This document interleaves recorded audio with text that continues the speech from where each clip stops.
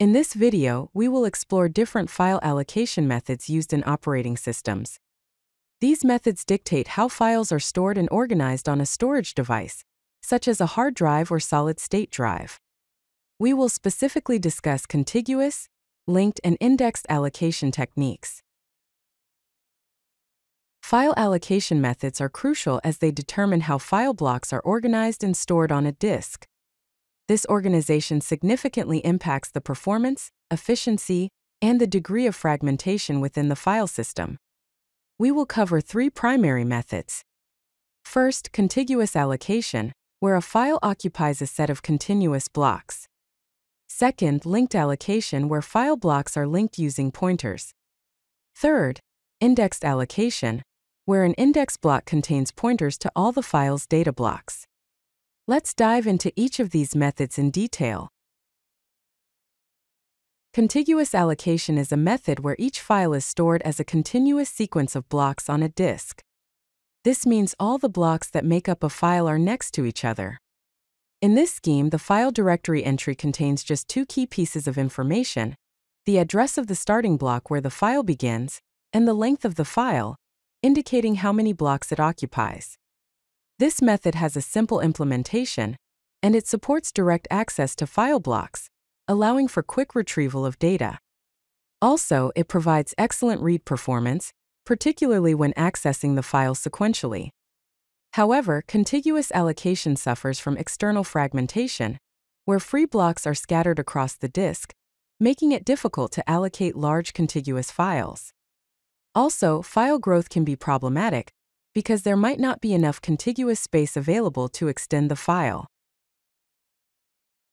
In contiguous allocation, the directory entry for each file includes only the starting block address and the length of the file.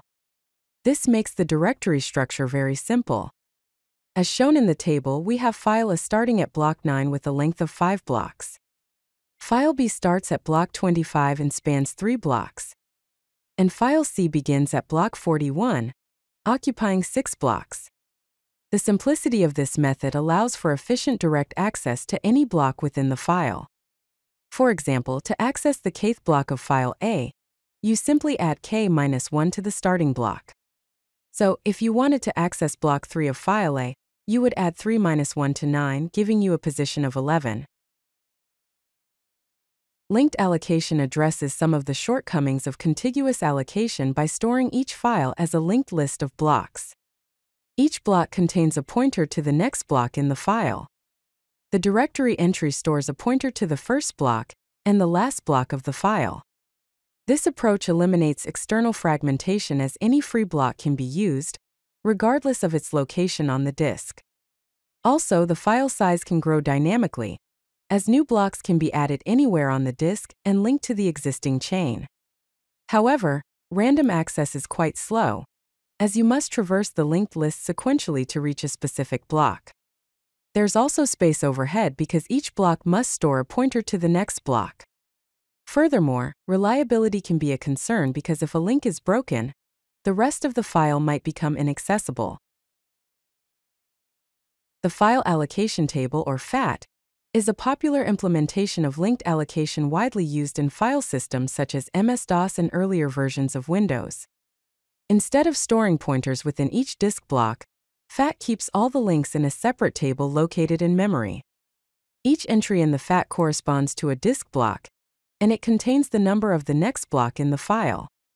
The key advantages include improved random access, because the links are readily available in memory.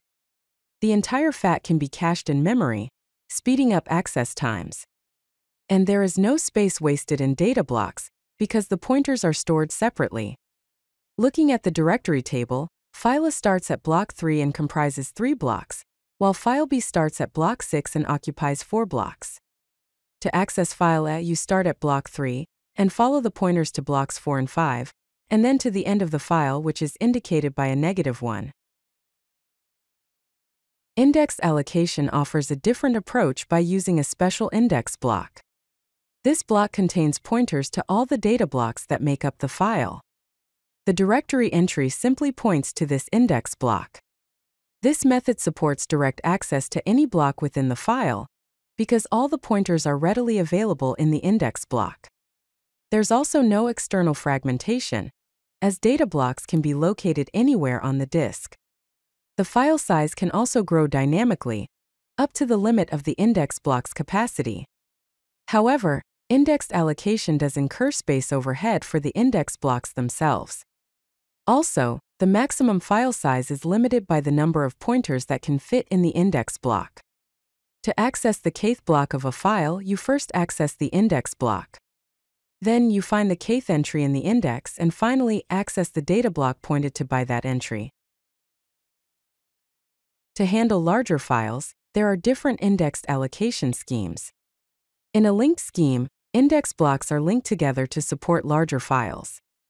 This means that if one index block is not sufficient to hold all the necessary pointers, it can point to another index block and so on.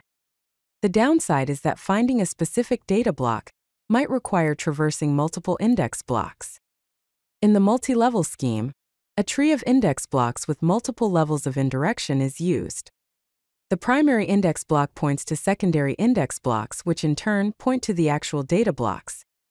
This hierarchical approach can support very large files, but it also adds complexity to the file system.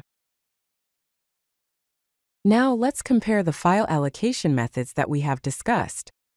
Contiguous allocation provides excellent random access performance and has no space overhead. However, it struggles with file growth and suffers from external fragmentation. Linked allocation has poor random access performance and incurs pointer overhead, but it supports easy dynamic file growth and has no external fragmentation. FAT, which is a variant of linked allocation, offers good random access performance, especially when the table is cached. It has table overhead but supports dynamic file growth and has no external fragmentation. Indexed allocation offers excellent random access performance and supports easy file growth however, it has index block overhead and can be complex to implement. Real-world file systems often use a combination of these methods to balance their strengths and weaknesses. For example, Extension 4 uses a variant of indexed allocation, NTFS uses a master file table, which is similar to FAT but more complex, and FAT32 uses the file allocation table approach. If you like this video, hit that like button and don't forget to subscribe. Visit codelucky.com for more such useful content.